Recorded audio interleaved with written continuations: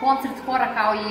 drugi koncerti Doma kulture usred pandemije koje, koja nas je zadesila nisu se održavali, ali konačno smo, da kažemo, oslobođeni i možemo da se ponovo vratimo na scenu i pokažemo pirotskoj publici ono što smo radili. Kao što sam i već rekla, na repertoaru su dela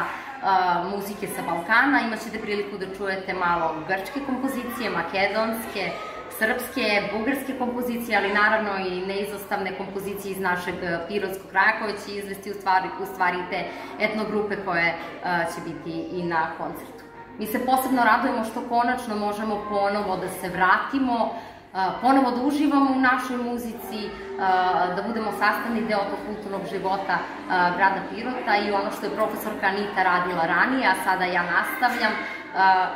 je, je nešto što je i tekako značajno za naš grad.